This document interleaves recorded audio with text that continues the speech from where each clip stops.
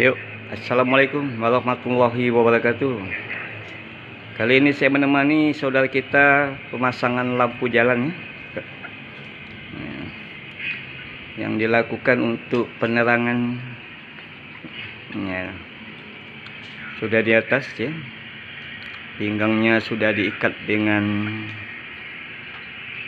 pengaman ya untuk menghindari hal-hal yang tidak diinginkan.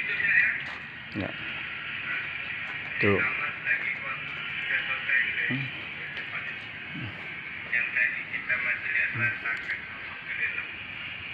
Ya. Eh, kecil gue. Tuh. Rasa takut, rasa cemas itu hilang karena ini tuntutan pekerjaan dan juga sudah terbiasa. Jadi SOP-nya kalau sudah ditanamkan di individu masing-masing pekerja, insya Allah keselamatan itu bisa bisa terjamin. Ya, bisa karena biasa, maka rasa takut itu hilang dengan sendirinya.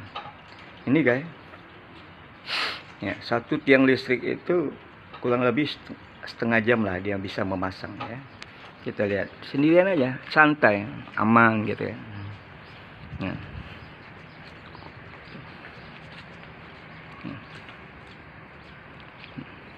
ya kalau tidak biasa kan bukan pekerjaan ya kita pasti cemas bisa takut gitu kan.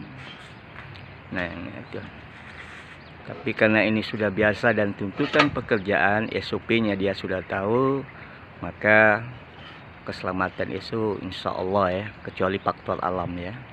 Sekali lagi apa pun pekerjaan ya di mana pun kalau pekerja itu menanamkan SOP-nya pola kerjanya di dirinya dan menerapkannya pada pekerjaan itu insya Allah keselamatan dan kenyamanan dia bekerja itu akan terjamin. Ya untuk siapa pun di luar sana ya sekali lagi ya ya apa pun pekerjaannya gitu kan hmm.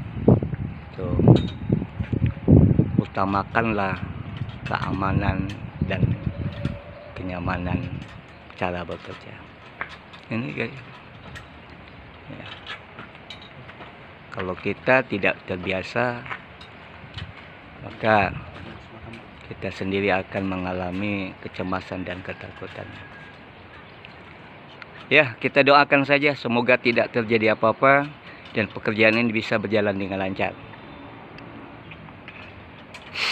Assalamualaikum warahmatullahi wabarakatuh. Salam sehat dari Bang Ben.